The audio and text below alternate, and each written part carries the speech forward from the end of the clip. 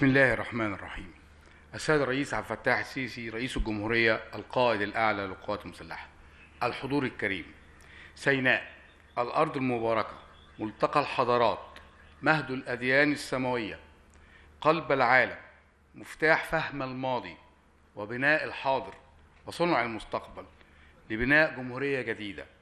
فكان توجيه سيادتكم بتنفيذ مشروعات البناء والتنمية والتعمير بالتزامن مع القضاء على قوى الشر لمد جسور التنمية إلى سيناء منهجا لنا نستلهم منه العزيمة والإصرار.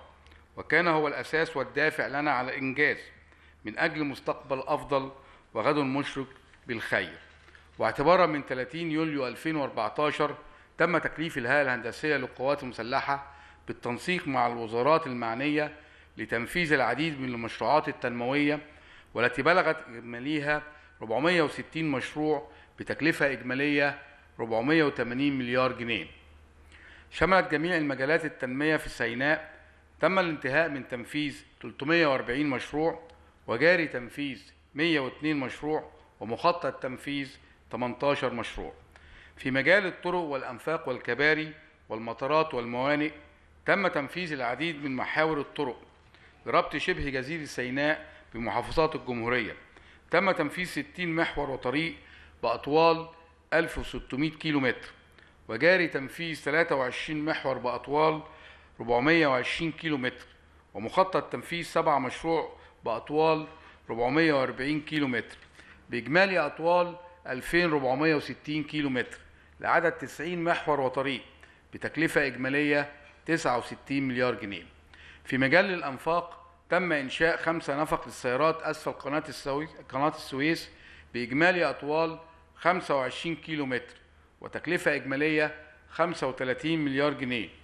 وفي مجال الكباري تم رفع كفاءة ازدواج كوبري سكة حديد الفردان القائم وجاري إنشاء كوبري جديد مزدوج أعلى قناة السويس الجديدة بطول 640 متر وعرض 11 متر وارتفاع 65 متر. بإجمالي تكلفة 2.3 من عشرة مليار جنيه. في مجال الموانئ الجوية المدنية تم تنفيذ مطار البردويل بالمليز لاستيعاب 300 راكب ساعة وتطوير منشآت مطار شرم الشيخ الدولي لاستيعاب 5000 راكب ساعة. جاري تطوير مطار العريش المدني لاستيعاب 600 راكب ساعة بتكلفة 2.5 مليار جنيه جاري تطوير المطار المدني بسانت كاترين لاستيعاب 600 راكب ساعة بتكلفة 2.3 من عشرة مليار جنيه لتصبح إجمالي التكلفة 11 مليار جنيه. في مجال الموانئ البحرية التجارية جاري تطوير ميناء العريش البحري على مساحة 542 فدان بتكلفة 4 مليار جنيه يشمل أرصفة بحرية بإجمالي أطوار 1165 متر طولي زائد 2 حاجز أمواج بإجمالي أطوال 1750 متر طولي وفي مجال الإسكان والتجمعات العمرانية والتنموية تم تنفيذ 51 مشروع وجاري تنفيذ 4 مشروع ومخطط تنفيذ 5 مشروع بإجمالي 63 ألف وحدة سكنية بتكلفة إجمالية 60 مليار جنيه. ومن أهم مشروعات الإسكان التي تم تنفيذها بسيناء إنشاء عدد اثنين مدينة جديدة مدينة إسماعيلية الجديدة بطاقة إجمالية 33 ألف وحدة سكنية ومدينة سلام مصر شرق بورسعيد بإجمالي 4400 وحدة سكنية وجاري إنشاء مدينة رفح الجديدة بإجمالي 11300 وحدة سكنية. تم الانتهاء من 1344 وحدة سكنية منهم بالإضافة إلى إنشاء 9100 وحدة سكنية كالآتي 2130 وحدة سكنية بالمساعيد بمدينة العريش 6970 وحدة سكنية بمحافظة بمحافظة جنوب سيناء ومخطط إنشاء 3000 وحدة سكنية بمدينة شرم الشيخ. في مجال إنشاء التجمعات التنموية تم الانتهاء من المرحلة الأولى لعدد 18 تجمع بدوي سكني زراعي بإجمالي 1200 بيت بدوي تم حفر 289 بئر مياه بأعماق تتراوح من 300 ل 1000 متر طولي لاستصلاح مساحة 10610 فدان إنشاء أربعة قرية للصيادين بمنطقة إغزوان على بحيرة البردويل بإجمالي 200 منزل في مجال الرعاية الصحية تم تنفيذ 30 مشروع وجاري تنفيذ 2 مشروع بإجمالي 32 مشروع بطاقة إجمالية 1000 سرير بتكلفة إجمالية 3.5 مليار جنيه ومن أهم المشروعات التي تم تنفيذها إنشاء اثنين مستشفى بمنطقة بئر العج ونخل بطاقة 135 سرير ورفع كفاءة تسعة مستشفى, تسعة مستشفى بطاقة 625 سرير إنشاء وتطوير شامل لعدد 16 مركز طبي ووحدة صحية بمدن ومراكز محافظة جنوب سيناء كما تم الانتهاء من إنشاء المعامل المركزية لسلامة الغذاء والحجر الزراعي بميناء نويبع. في مجال الإمداد بالمياه والصرف الصحي والكهرباء تم تطوير البنية التحتية للإمداد بالمياه والصرف الصحي والكهرباء لاستيعاب المشروعات التنموية والزيادة السكانية الحالية والمتوقعة. ففي مجال تطوير شبكات الإمداد بالمياه تم تنفيذ 25 مشروع وجاري تنفيذ 6 مشروع بإجمالي 31 مشروع لإضافة 450 ألف متر مكعب يوم مياه شرب بتكلفة إجمالية 20 مليار جنيه. ومن أهم تلك المشروعات إنشاء 23 محطة تحلية لمياه البحر بطاقات تتراوح من 10000 حتى 150 ألف متر مكعب يوم. إنشاء محطة ترشيح مياه بطاقة 70 ألف متر مكعب يوم. قابلة للتوسع إلى 140 ألف متر مكعب يوم بمدينة الإسماعيلية الجديدة. تطوير شبكة مياه الشرب بمدينة العريش بإجمالي أطوال 9900 كيلو متر وجاري إنشاء ثلاثة رافع مياه بمدينة العريش بمتوسط طاقة 7000 متر مكعب يوم للرافع الواحد. في مجال تطوير شبكات الصرف الصحي تم تنفيذ 8 مشروع وجاري تنفيذ 6 مشروع ومخطط تنفيذ واحد مشروع بإجمالي 15 مشروع بتكلفة إجمالية 33 مليار جنيه. ومن أهم المشروعات المنفذة لاستغلال مياه الصرف المعالجة في أعمال التنمية إنشاء محطة معالجة ثلاثية بالاعتماد على مياه مصرف بحر البقر بطاقة إنتاجية 5.6 من عشرة مليون متر مكعب يوم ونقلها لترعة الشيخ جابر إنشاء محطة معالجة ثلاثية لمعالجة المياه مصرف المحسمة طاقة مليون متر مكعب يوم. إنشاء محطة معالجة مياه صرف الصحي ثنائية بمدينة الطور بطاقة إنتاجية 10000 متر مكعب يوم. وجاري إنشاء محطة معالجة مياه صرف صحي ثلاثية بمدينة رفح الجديدة بمحطة بطاقة إنتاجية 3000 متر مكعب يوم. في مجال الإمداد بالكهرباء تم تنفيذ 10 مشروع بتكلفة إجمالية 3.5 مليار جنيه لرفع كفاءة شبكات الكهرباء بمدن العريش الشيخ زويد ورفح وتوفير التغذية الكهربائية لمحطات معالجة مياه مصرف بحر البار والمنطقة الصناعية بشرق بورسعيد. في مجال الزراعة والاستصلاح الأراضي تم تنفيذ 13 مشروع وجاري تنفيذ 8 مشروع ومخطط تنفيذ 3 مشروع بإجمالي 24 مشروع بتكلفة إجمالية 68 مليار جنيه.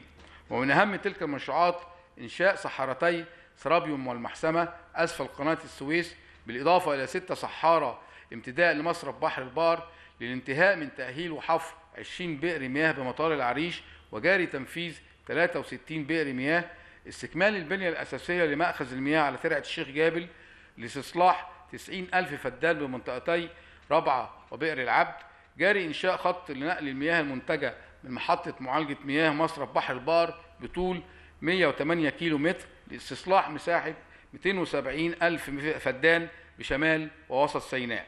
جاري رفع كفاءة وتطوير قناة مصرف جلبانة لاستصلاح مساحة 7000 فدان ولتقليل الفجوة الغذائية وزيادة مصادر إنتاج الإغذاء. تم إنشاء أحواض استزراع سمكي بمنطقة شرق بورسعيد بإجمالي 5900 حوض على مساحة 13000 فدان بتكلفة 15 مليار جنيه. في مجال التنمية الصناعية تم تنفيذ العديد من المشروعات الصناعية لخلق فرص عمل وجذب مزيد من السكان والاستفادة من الموارد المحلية بسيناء وتعظيم القيمة المضافة لتلك الموارد. لقد تم تنفيذ ستة مشروع وجاري تنفيذ أربعة مشروع ومخطط تنفيذ أربعة مشروع بإجمالي 14 مشروع بتكلفة إجمالية 38 مليار جنيه. ومن أهم تلك المشروعات إنشاء الميناء التجاري بمنطقة شرق بورسعيد ويشمل 10 رصيف بحري بإجمالي أطوار 5 كيلو متر 8 ساحة تتاول للأرصفة بتكلفة إجمالية 9 مليار جنيه جاري تنفيذ أعمال البنية التحتية للمنطقة الصناعية شرق بورسعيد بتكلفة 14 مليار جنيه كما تم الانتهاء من زيادة الطاقة الإنتاجية لمصنع العريش للأسمنت من 3.7 من عشرة إلى 6.9 من عشرة مليون طن سنويا بإضافة اثنين خط إنتاج. في مجال المنشآت التعليمية تم إنشاء وتطوير 49 جامعة ومدرسة ومعهد ومقر إدارة تعليمية وجاري إنشاء خمسة جامعة بمختلف التخصصات بإجمالي 54 مشروع بتكلفة إجمالية 21 مليار جنيه تم إنشاء جامعة الملك سلمان بمدن رأس سدر الطور شرم الشيخ وجاري إنشاء اثنين جامعة أهلية شرق بورسعيد والإسماعيلية الجديدة وجامعة سلام مصر للتكنولوجيا بشرق بورسعيد. تم تنفيذ 26 مدرسة وتسع مقر للإدارات التعليمية. تم إنشاء اثنين مدرسة مصرية يابانية بمدينتي الإسماعيلية الجديدة والطور. كما تم رفع كفاءة وتطوير تسع مدرسة ومعهد أزهري بمدن العريش الشيخ زويد رفح في مجال المنشآت الرياضية تم إنشاء الصالة الرياضية بمدينة العريش ساعة 2000 متفرج وجاري إنشاء اثنين معسكر شباب بطاقة بطاقة إجمالية 1600 شاب وفتاة بمددي رأس صدر والطور بتكلفة إجمالية 510 مليون جنيه. سيادة الرئيس اسمحوا لي أن أتقدم بخالص الشكر إلى رئاسة مجلس الوزراء وكافة الأجهزة الدولة الذين كانوا وما زالوا نعم العون في سبيل سرعة إنجاز تلك المشروعات في التوقيتات المحددة كما أتقدم بخالص الشكر والتقدير للقيادة العامة للقوات المسلحة على دعمها الكامل خلال تنفيذ تلك المشروعات على الوجه الأكمل كما أتوجه بالشكر للمكاتب الاستشارية والهندسية والشركات الوطنية التي ساهمت في تنفيذ تلك المشروعات بجودة عالية والشكر كل الشكر لأهالي سيناء الحبيب. على معاونتهم الصادقة لنا في مهمتنا فما كان لنا أن نحقق هذا الإنجاز بدونهم نقف معا سدا منيعا ضد قوى الشر ولكل من تسول له نفسه المساس بأمن الوطن وسلامته.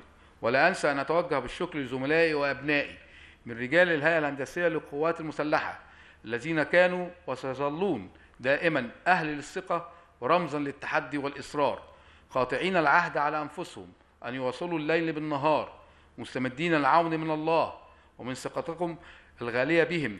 واضعين نصب أعينهم ثقة شعب مصر في قوته المسلحة. حاملين شعار يد تبني سيادة الرئيس نعاهد الله ونعاهد سيادتكم على بذل الغالي والنفيس من أجل استكمال مسيرة التنمية.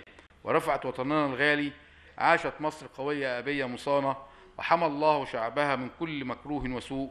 وفقكم الله ورعاكم وسدد خطاكم والسلام عليكم ورحمة الله وبركاته. أي أوامر